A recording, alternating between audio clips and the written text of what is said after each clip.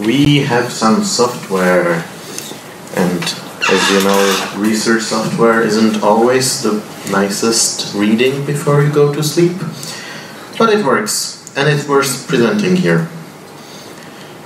So the first toolkit that you should be aware of for doing OMR is the veritable Gamera monster. It's the first open source OMR library and for a long time the only one. Uh, it's not just for OMR, as we have heard. There are people using this for ancient Greek documents, I think, nowadays. So this thing is still alive. Be very afraid. It it's basically the reference implementation of a lot of published OMR research. Essentially, everything prior to 2010 is only in Gamera if it's available at all. And uh, there, the, the older staff removal methods, basically everything pre-machine learning for staff removal is in the MusicStaves toolkit of Gamera. So if you are starting out, basically you have to get this to, to get a feeling for what has been done a long time ago, what are the difficult issues with these methods, etc., etc. Uh, it is built around this traditional OMR pipeline where you pre-process the image, segment it into symbols, classify the symbols. Uh, there, it, I think in, in its core it's C++ and it has a very nice Python interface. It has this GUI and extensive documentation, which is a really important property. It implements some image processing things which I haven't seen anywhere else, like this coarse transform where you try to find out what's the longest line that you can draw through a point without leaving the foreground, for instance. So this, it, it, there is really a lot of stuff in there. Then there is a suite of OMR tools uh, published at the DDMAL GitHub, which is the department of Professor Fujinaga. Surprise, surprise. Everything there is geared for web-based use. So there is the Rodan architecture, this, this huge bird, which is uh, really in the cloud. The server has a REST API. There are uh, there's the interface defined for Rodan workers. So if you want your methods to work as uh, to be callable from the Rodan infrastructure, you just implement the appropriate wrapper class. Uh, you can manage the database of images and the annotations that you have for them through Rodan as well. I mean, if you are thinking of doing OMR, then you probably want to to publish your code also as part of something Rodan compatible, runnable from there. It doesn't make sense to duplicate this effort. Uh, it has the facility to manage interactive jobs, where you tell where the job isn't run something on the server in a batch. The job is to actually wait for a user to do something in some editing software, like the Pixel.js editor or the MUSCIMarker, these things we've seen before. Uh, there is already a bunch of pre-trained models for Rodan, specifically the layout analysis that we've seen uh, the demo for, this, this patchwise thing. You can just download it from this GitHub. And finally, there is a bunch of tools for visualization and for this interactive editing. Again, everything is web-based. Uh, it's the OMR infrastructure for today. Then there is the MUSCIMA suite, which is basically support for this uh, music notation graph format. Uh, the MUSCIMA package is the API for this format and for manipulating it. Uh, you can do things there like infer MIDI from the notation graph once you have it. It implements this uh, some ways of inferring the graph and many other editing uh, functions which are made available to human users through the MUSCIMarker editor. This is a Python app built on the Kivy framework for graphical interfaces. Uh, you've seen that there is an object detection client implemented there. This could essentially, or should Uh, that's my fault. It's not done yet, but it should be uh, wrapped to become a Rodan job, for instance. The documentation for this one is not too great. I mean, solo work, basically. So. Then there is the Audiveris system. This is probably the oldest standalone OMR app that has been given available as open source. Gamera is for basically expert users who want control over the process. Audiveris is more for users who enjoy having a black box to play with. Uh, but since it's open source, you can also look inside the box. Nowadays, it used to be a standalone app with a user interface and everything. Nowadays, it's being refactored as an OMR engine for the MuseScore editor. And it's actually used from MuseScore. You, you can do this from, from a menu. It has a pretty neat model for recognition, which is worth knowing about.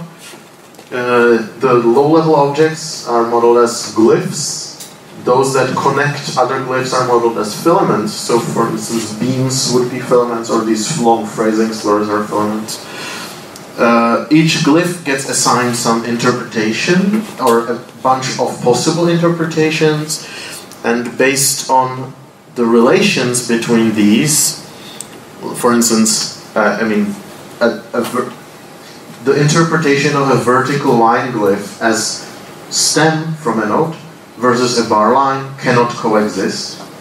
And there is this simple interpretation graph which is means to resolve these uh, possible interpretations and arrive with a recognition hypothesis. It's quite a neat piece of software. And of course, then there is Aruspix, and I think we've already seen this video. This one is for the early typography. And there is a lot of manuscripts in this form. I'm not sure if you've had the honor of singing some Renaissance stuff, but there's thousands and thousands of pages in various archives which use this type. Then there are the commercial applications, which of course we don't want to talk about too much, but they are there, and for some purposes, like for the purposes of the Bavarian State Library, they can give you useful results. Again, in the demos, you've seen that for some kind of scores they work, and if you don't want to do OMR and just want it, want its results, then this can be a good solution for your use case as well. This kind of old guard applications have been around for a while. Now they are integrated one into Finale and one into Sibelius. Uh, there are some which, which we call new blood. Uh, those focus mostly on online recognition, so writing on a tablet Maybe you have seen the StaffPad promotional video, which looks really impressive, but, well. Uh, there is a bunch of mobile apps branching out of this, but these often fall into the trap of coming to the problem and saying, oh, it's so easy. So then it works only for a very limited subset of actual uses you could have for this. We don't really have any quantitative evaluation of these applications.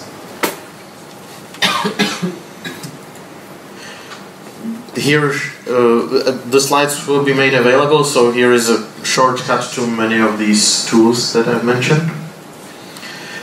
And I was saying a short time ago that we don't have quantitative evaluation, and this is actually a much bigger problem than just saying whether we are better or worse than the commercial apps.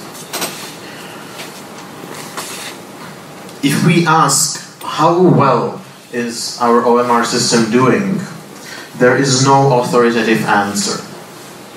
So for one, it really depends on what you want your system to do. We've had this palette of possible applications. We've had these two fundamental streams. Either you want to reprint the score itself, or you want to recover the semantics behind that, or you want to do both. Uh, so, broadly speaking, we can evaluate OMR intrinsically and extrinsically. Extrinsic evaluation means within an application context. So you don't care about the system in any other way, except does it help my task or not. For uh, transcribing scores, for digitizing scores, the appropriate extrinsic metric is how much time does it save when you have to check it and correct the errors versus how much time it would take to create this score manually from scratch. So this would be an extrinsic metric application defined. Intrinsic metrics are uh, more in the line of how well our system actually extracts the information encoded in the score. So the score encodes a finite amount of information. There's a finite amount of those visual objects. They encode a finite amount of nodes. These have those five attributes, of which only four are actually encoded by scores. So this is a bunch of checkboxes that your system should be ticking. And theoretically, we can say, okay, your system has ticked 92% of boxes of type notehead found, 80% uh, of checkboxes of pitch recovered correctly, etc., etc. So this this kind of error counting has been attempted for OMR, most prominently by Bellini and his team in 2007. They just asked a bunch of people to mark the errors that OMR applications made. Just give them two pieces of paper and say, okay, this is a correct output, this is a recognition output, please count the errors. And there is a huge table that describes how to count these errors. And they did this on both the graphical level, where you say, did we find all the clefs? And on the semantic level, when they ask, did we recover, for instance, the durations of notes properly? Uh, this is probably the most detailed attempt at evaluating OMR, and it has been 11 years. So while we can do this for the individual steps, like object detection, quite well, um, this is still an open problem. We don't have a script into which you could feed two music XML files and say how similar they are we don't have this for pretty much any uh, any of these representations in a way that is meaningful for evaluating OMR. Of course, you can use some kind of tree edit distance on the XML files, and it will give you a number. But this number doesn't actually correspond to how difficult it would be to change the recognition output to the new score. Because you run into all these things I was talking about about how music XML is interleaving graphical and semantic information, how it's kind of inventing abstract objects that aren't actually on the page. So there is an object called voice, but this voice, which is an abstract musical thing, contains notes for accidentals, for key signatures, which do not necessarily belong to any given voice. So we don't have a nice way of evaluating OMR per se. One of the major blocking issues, and you, you know, you should take this as relatively good news because this means another avenue in which to publish. uh, the obvious thing that should be solved is the interaction between errors at the graphical and at the semantic level. So, the typical example you would use is that if you misclassify a clef, so if you say this is a bass clef and in reality it's a standard treble clef, then all of the pitches on that staff will be wrong. You've made one error on the lower level, and on the semantic level, this manifests itself as like 30 errors. And moreover, on the semantic level, it manifests itself in different place than where you actually made the error. And think back to how the music XML file is structured. The clef is somewhere in the tree, and all those affected nodes are somewhere else. And perhaps they're split into different voices, so that you really have to go all the nearly all the way up the music XML tree in order to find all those affected nodes. So you can see how it's not trivial to, to make a script for that. Uh, this interaction between the semantic and graphical level is not straightforward. You, it's non-local. Uh, it might not even be contiguous.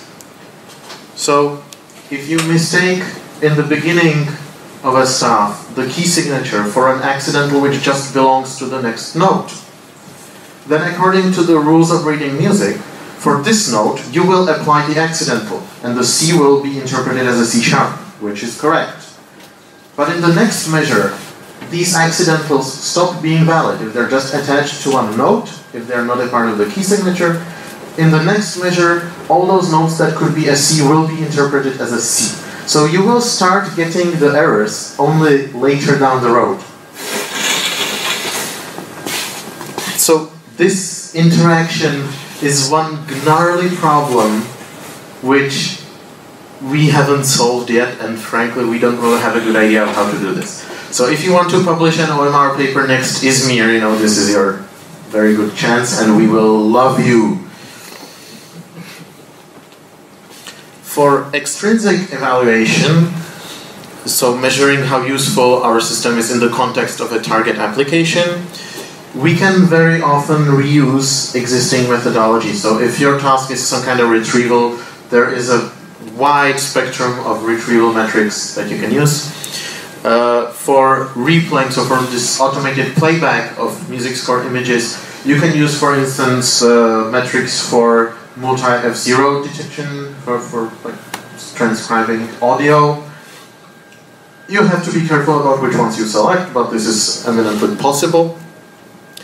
The one situation where this recycling isn't really applicable is when you do this full score transcription. So when your end product is the actual score and you want to give it to a musician, we have no way of evaluating how good this is. Again, if you can come up with something, we will love you. Uh, on this, actually, there has been some work in getting automated metrics. I mean, the obvious way to evaluate this is to just, you know, tell five different people to transcribe this score. The, the recognition output, five other people will be transcribing from scratch. You will just measure how long it takes, average, and voila, you will have an evaluation. This is a little expensive. Uh, so we would really like an automated metric. There is one attempt by Mariusz Szwoch from 2008. He went through the pain of creating a user study on this, so he designed a music XML distance metric and had people uh, correct some scores and measure some correlations. Unfortunately, the paper is not very detailed in this respect, and the only thing I got from him was an exe file and not the source, so I don't know how this method really works. I did some other stuff two years back where I collected user judgments on what kind of error they would like to see more. So what would they what would take them less time to correct? And you have these pairwise judgments and when you design a music XML distance metric, you can measure how well it conforms to the user's priorities. This, if you want to play around with this, this is available on GitHub. I tried some obvious things, like for instance this tree edit distance in Music XML, and it doesn't really work very well. It was actually tentatively agreed upon uh, on Thursday when we had a workshop that uh, there should be a contest on designing evaluation metrics because this is the bottleneck to organizing an actual OMR contest. We don't know how to evaluate.